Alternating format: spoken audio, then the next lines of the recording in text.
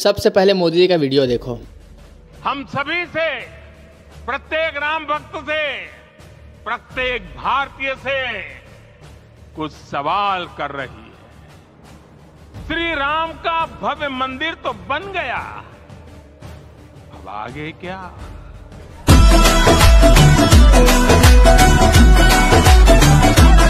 देख लिया आपने तो मोदी जी क्या कह रहे हैं? कि अयोध्या बन गया, राम मंदिर बन गया राम जी आ गए लेकिन अब आगे क्या? सबसे बड़ा सवाल यह है, अब आगे क्या? समझने वाले समझदार हैं, उनको समझाने की ज़रूरत नहीं। आगे क्या? तो जो बात आप सुनते हैं हमेशा से कि अयोध्या तो केवल झांकी है, काशी और मथुरा बाकी अर्थात काशी विश्वनाथ का जो कह सकते हैं, वहाँ पे बात चल रहा था। उस पर रिसर्च होना बाकी, उस पर केस चल रहा है। श्री कृष्ण राम जन्मभूमि तो हम आ चुके हैं। श्री राम जी अपने जन्मभूमि पर आ चुके हैं। श्री राम विराज मनोज लेकिन श्री कृष्ण जन्मभूमि की बात कौन करेगा? श्री कृष्ण जन्मभूमि में भी हमारे योगेश्वर श्री कृष्ण आने बाकी हैं, हमारे श्री कृष्ण श्री कृष्ण कान्हा जी आने बाकी हैं। और भगवान श्री विश्वनाथ श्री विश्वनाथ जी जिनको सबसे बड़ा जो काशी के अलावा कैलाश के पर्वत का अलावा दूसरा जो घर है भगवान शिव का, सबसे विशेषकर घर जिनको प्राचीनतम नगरी काशी, जिसको इतिहास से पुराना माना जाता है, उसको जो है इसके बारे में कब बात की जाएगी? तो यही बात है कि मोदी जी का सिग्नल यही था डायरेक्ट कि मथुरा और काशी बचते हैं। तो काशी विश्वनाथ का केस तो चल ही रहा है। इसके बाद श्री कृष्ण जन्मभूमि रिसर्च किया जाएगा। इसमें बहुत बहुत सारे साक्ष्य मिले हैं। और साक्ष्य मिलेंगे कि उन्हें इतिहास चीख चीख के कह रहा है, भगवान श्री कृष्ण द्वापर युग से वहाँ विराजमान है।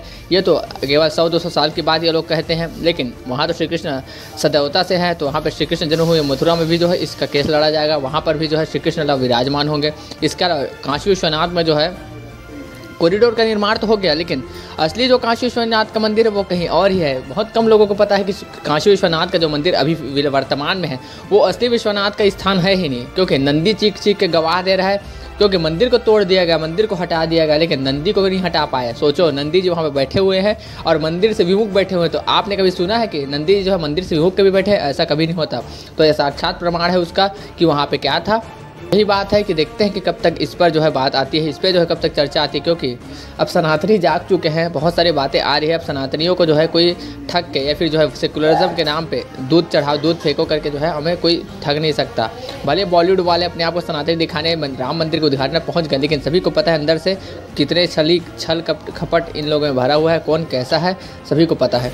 मंदिर के उद्घाटन। श्री राम मंदिर के प्राण प्रतिष्ठा से सबसे बड़ा बात यह है कि धोनी, कोहली और रोहित शर्मा के वहाँ पे जो है अनुपस्थित होने के कारण उनको ट्रोल किया जा रहा है। और करना भी चाहिए। आप कितने बड़े क्रिकेटर हो, कितने बड़े हस्ती हो जाए आपकी नेशनल ड्यूटी कौन है भगवान श्री रामचंद्र से बड़ा कोई नहीं है। और अगर आपको कितने भी बिज़ी हो, लेकिन आपको एक पल के लिए वहाँ आना चाहिए था, अपने जो है प्रेजेंस देने चाहिए, अपनी उपस्थिति वहाँ पर देनी चाहिए थी भगवान श्री रामचंद्र के जो है दर्शन करने चाहिए।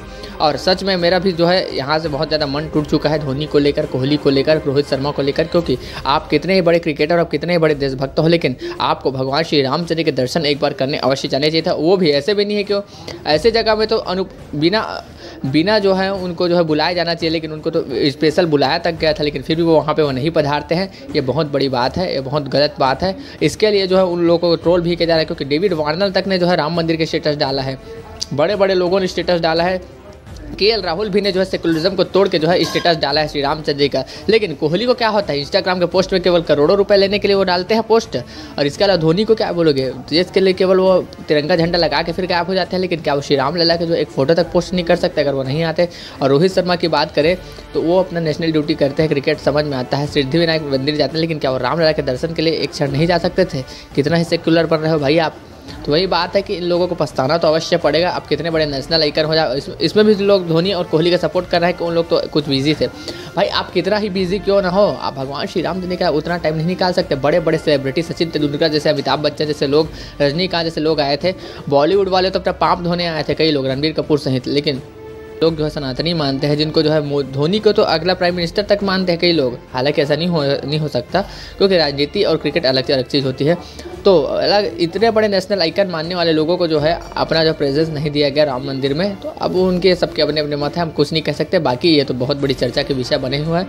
मेरा भी जो है उम्मीद था कि वो लोग अवश्य जाएँगे, लेकिन वो लोग नहीं जाते, मेरा भी मन टूट चुका है। और बाकी आपका इस पर क्या कहना है? और हमारे जो मुद्दे के प्रमुख जो बात है कि मोदी ने कहा कि अब आगे क्या? तो आगे क्या? उसको देखा जाएगा। अब आगे क्या है? आपका इस पर इसका क्या मत है? कमेंट्स कर ज़रूर बताइएगा। बाकी रामलला पधार चुके हैं। खुशियाँ मनाइए। साल में दो दिवाली मनाएँगे। जय श्री राम। हर हर महादेव।